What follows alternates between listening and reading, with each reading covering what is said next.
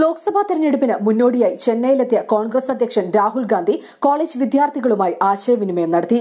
കുർത്തിയും ജാക്കറ്റും ഉപേക്ഷിച്ച് ടീഷർട്ട് ധരിച്ചാണ് രാഹുൽ വിദ്യാർത്ഥികളോട് സംസാരിക്കാനെത്തിയത്. ചോദ്യമുന്നയിച്ച വിദ്യാർത്ഥികൾ സർ എന്ന് രാഹുൽ ഗാന്ധിയെ അഭിസംബോധന ചെയ്യാൻ തുടങ്ങി. നിങ്ങൾക്കെന്നെ രാഹുൽ എന്ന് വിളിച്ചൂടെ എന്നായിരുന്നു രാഹുലിന്റെ മറുചോദ്യം. ഓഡിറ്റോറിയം നിറയുള്ള വിദ്യാർത്ഥികൾ ആദ്യമൊന്നും മടിച്ചു. പിന്നീട് മിസ്റ്റർ രാഹുൽ എന്ന് അഭിസംബോധന ചെയ്ത് ചോദ്യങ്ങൾ ചോദിക്കാൻ തുടങ്ങി. ഇന്ത്യയിൽ വിദ്യാഭ്യാസ രംഗത്ത് ചിലവിടുന്ന തുക വളരെ കുറവാണെന്ന് രാഹുൽ ചൂണ്ടിക്കാട്ടി. കോൺഗ്രസ് അധികാരത്തിൽ വന്നാൽ തുക വർദ്ധിപ്പിക്കും. ഫണ്ട് മാത്രമല്ല വിദ്യാഭ്യാസ മേഖലയ്ക്ക് കൂടുതൽ സ്വാതന്ത്ര്യം നൽകുമെന്നും രാഹുൽ ഗാന്ധി വ്യക്തമാക്കി. കോൺഗ്രസ് അധികാരത്തിൽ വന്നാൽ തൊഴിൽ മേഖലയിലും സ്ത്രീകൾക്ക് മുപ്പത്തിമൂന്ന് ശതമാനം സംവരണം നൽകുമെന്നും രാഹുൽ ഗാന്ധി പറഞ്ഞു.